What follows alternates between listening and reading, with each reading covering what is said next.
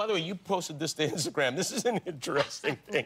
This is a post that you, uh, you, you, Ozzy, it was too hot this summer, right? Yes. And so Ozzy ordered 3,000 pounds of ice to be dumped in. Either ordered or do you have a giant freezer? Which is it? No, he ordered it and it came in a big truck and one of those big cranes brought it in. It was fabulous. Just because the water was too hot. too hot. He couldn't get it cold enough.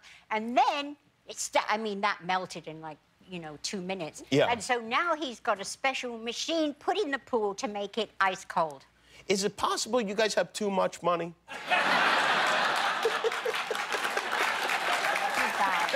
Really bad. You also posted you missed you, you lost your cat and you did. put it up. And Tiger Lily. Tiger Lily's name of the cat. yeah. Did you find Tiger Lily? We did. Somebody returned her really early in the morning. Oh, that's good. uh, we just were so happy. Did you give out your address? How did they know where to bring the cat? I said, call CBS.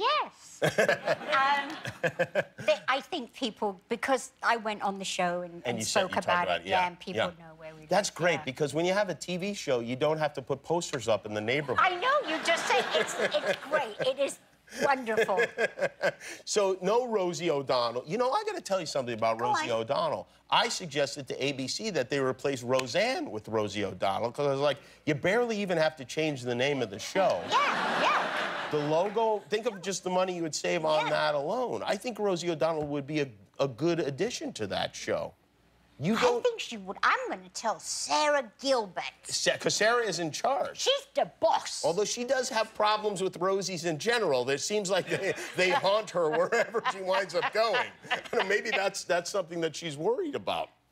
I don't know, but that's a very good idea. Thank you. Huh? Finally, somebody's acknowledged that I have some good ideas. You do. You do.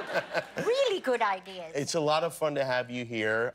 Always fun to have you here. Are, do you you. ever go on the road with Ozzy? Do you go all see the, the, show? Yeah, when I'm, I, I finish work like on late Thursday, and I just get on a plane, join him, and then come back for the Monday. Always. Do you still enjoy watching him perform on stage?